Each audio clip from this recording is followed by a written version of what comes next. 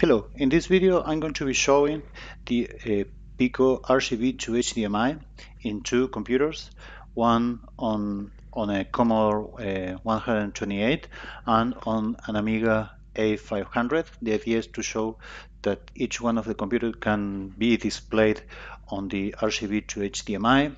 I have here the uh, RGB to HDMI. Let me let me put it on front. And you can see it here. Okay. So as you can see here um, it's a simple board uh, hosting um, a Pico, a Raspberry Pico RP2040 uh, the idea is that in the future it's going to be having a more powerful uh, processor but being compatible so you can have more resolutions and, and more um, uh, pixel depth for the colors. But right now it's uh, it's able to render in 640 by 4080 or uh, 800 by uh, 600 or above. But always using a capture of a 320 by 240 or 640 by 240 uh, due to the limitation on the memory. So right now what you're going to be seeing here is that the system, let me put this on top, is rendering what is on the uh, Commodore 128. Here it's easier if I just move this on top. So you, you are seeing here the 128. Um, with a connector to the uh, 80 columns uh, uh, display output and is being able to render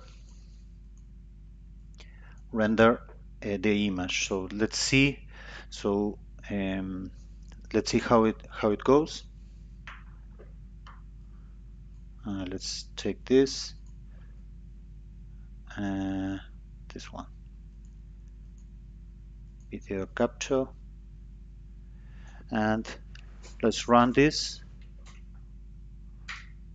So as you can see it's able to to render the the image on screen. And just running a simple a simple program. As you know the 128 Commodore is RGBI shows 16 colors uh, uh, TTL uh, signals so there is an adaptation. And now what we're going to be doing, we are going to be connecting the the, the Pico RGB to HDMI to um, to the Commodore Amiga.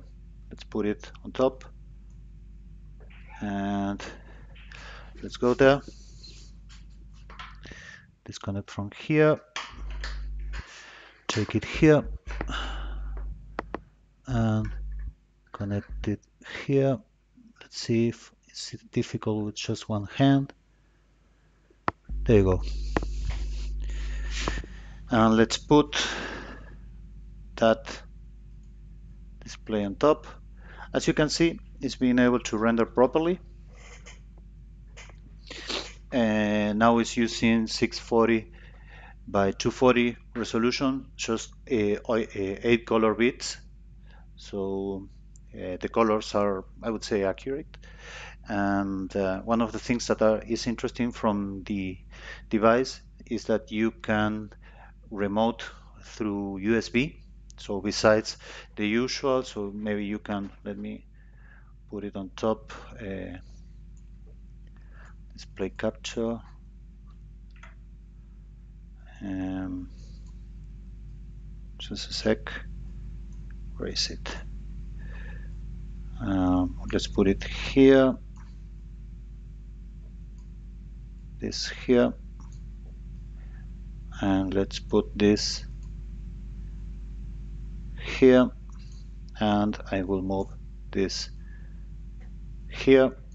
If I just press the three buttons on the on the PCB the system will enable will enable the the USB support. Let's do let's see that. So we need to show on screen. Um, the application. Let's put this here. And uh, let's put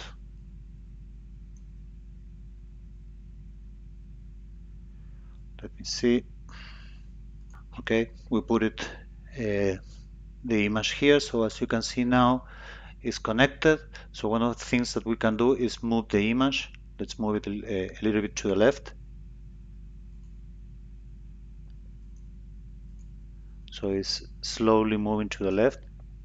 Uh, I can move maybe 10 pixels to the left. Now it's easier to see. Okay. And what we can do now is to capture the image. So it will freeze just for a second and it will transmit the information to the screen. So as you can see it's being able to to capture and you can then save that image on the on the computer and uh, just for the quick demo that that we did thanks